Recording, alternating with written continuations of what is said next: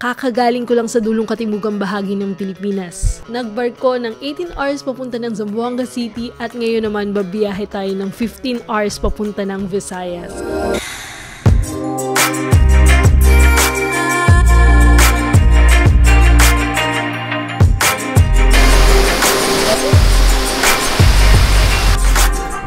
Hi, I'm Zar, a travel filmmaker. When the pandemic hit us, I lost my job. I got bored, so I tried cycling in my hometown until I got further and further. And recently, I built my expedition bike and decided to travel full time. I am now bike touring the islands of Luzon to Mindanao.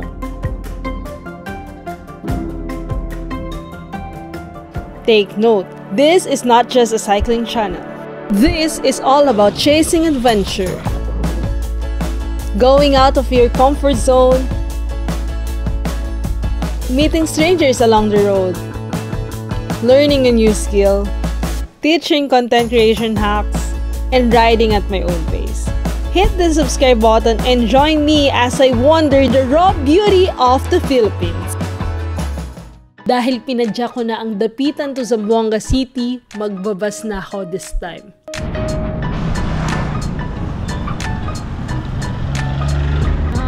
Lapit-lapit na ako din sa bus terminal papuntang Dumaguete.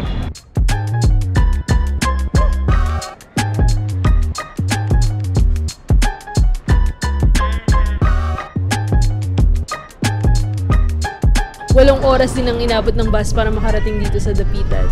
Pagkarating namin dito sa Dapitan, pinababa kami ng bus, humigop lang muna ako ng sabaw at may nakilala ko ditong dalawang traveler. Nilibre na rin nila ako ng terminal fee at naglakad na kami papunta ng. Akit na kami ng barko.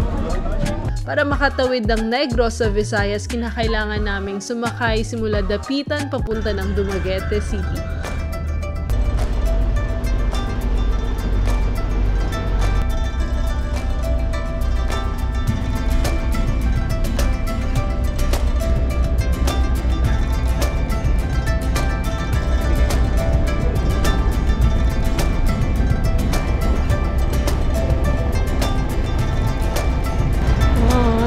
Arrived here in Dumaguete. Second time, finally. Dahil na-travel ko na noon ng Dumaguete City, medyo familiar na ako dito. After 15 hours of travel, nandito na ako sa Dumaguete. Kapuy, Bisaya na naman tayo. Di na naman ako marunong mag-Bisaya, mapagaya tatay tagal. So, papahinga muna ako. Medyo pagod ako. Dapat iikot ako ng Valencia.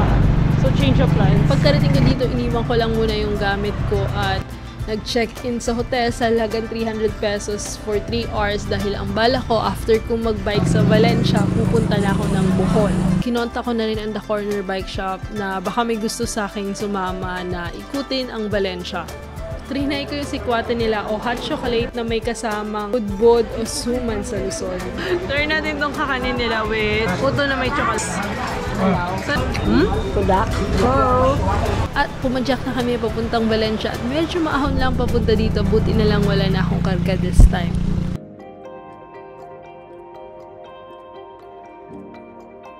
Ito yung isa sa mga paborito kong pasyalan malapit sa Dumaguete.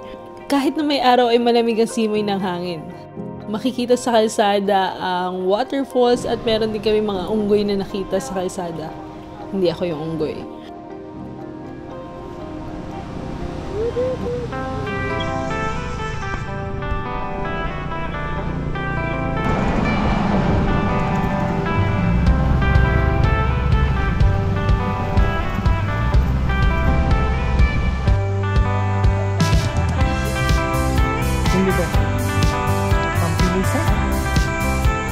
At dito rin matatagpuan ang tinatawag na sulfur vent. Akala mo fog, no? Pero hindi. Ito lang naman ang tinatawag na sulfur vent na nagmula sa aktibong bulkan dito, ang Mount Talinis.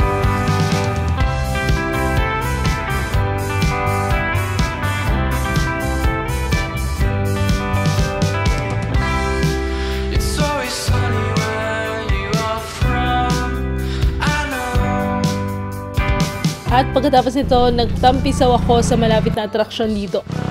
And just arrived dito sa Pulang Bato. It took me 4 years bago makabalik ulit dito and yun, ibang iba na siya. For now, swimming lang muna ako for a short period of time because later I'm gonna go to Bohol.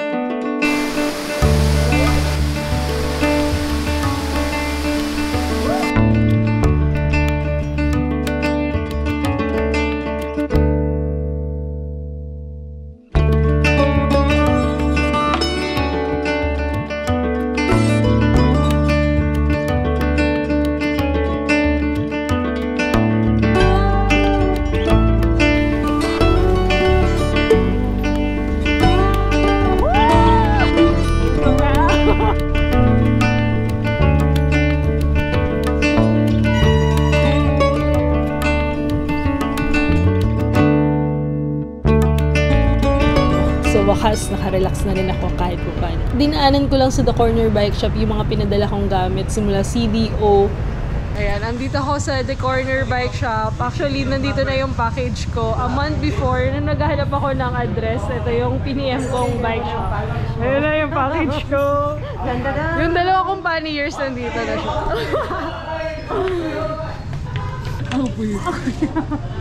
Hindi natanggalin ko sa box. Hey, Chanel! Pag ko po yan sa harap, apat po kasi yung mga. Yes. It's a 360 go-to plus third person bike and door. HoloLens.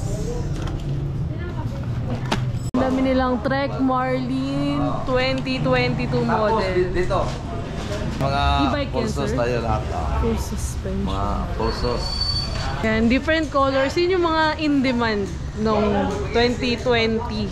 Pero, wow! Ayan, mga nagpatato rin sila dito sa Dumaguete. So, wow! Planado po ba yan? Planado? Unexpected po sa akin. Planado yung pagtato nyo. Oo, kasi one heart sa grupo. Ay! Walang iwanan? Wala iwan. Walang iwan.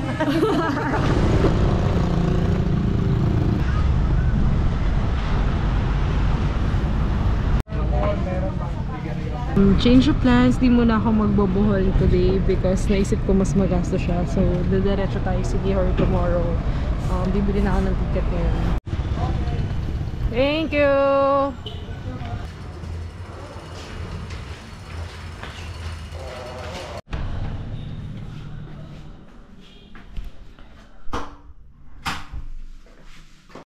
Ayan, just arrived here in Dumaguete.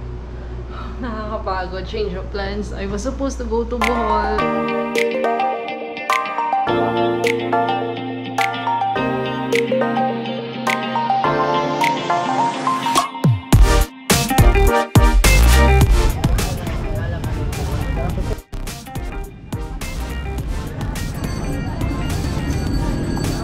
natin yung uh, street food nila.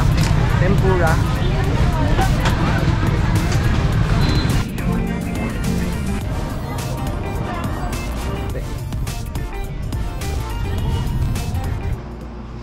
Bike bracelet? Nanay bike? Di papunta ko ng Sikihor. Natin kung kamusta yung adventure ko dito.